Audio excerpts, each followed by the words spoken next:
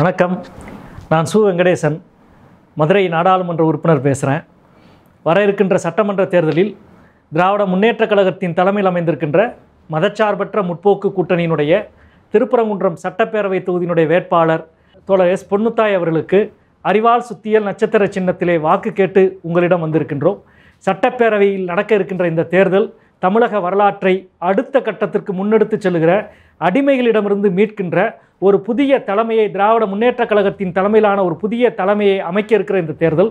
இந்த தேர்தலில் சட்டமன்றத்திற்குள் எப்படிப்பட்டவர்கள் செல்ல வேண்டும் என்பதற்கான ஒரு முன்னுதாரணமான ஒரு பணியை செய்ய போகிறவர்களாக வாக்காளர்களாகிய நீங்கள் இருக்கின்றீர்கள்.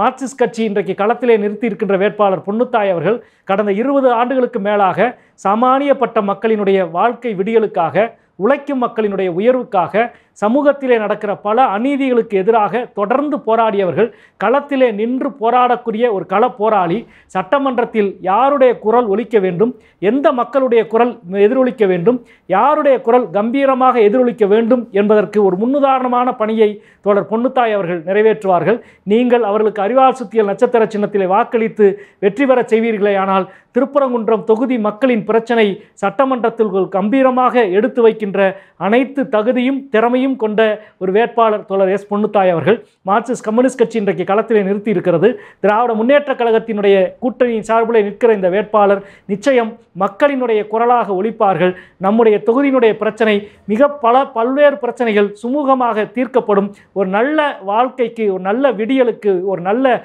வசந்தத்திற்கான வாசலாக திருப்பரங்குன்றம் சட்டப்பேரவை தொகுதியினுடைய இந்த தேர்தலில் நீங்கள் அறிவால் சுத்தியல் நட்சத்திர சின்னத்திற்கு வாக்களிக்க வேண்டும் என்று உங்களை அன்போடு கேட்டுக்கொள்கிறேன். நன்றி வணக்கம். அறிவால் சத்தியம்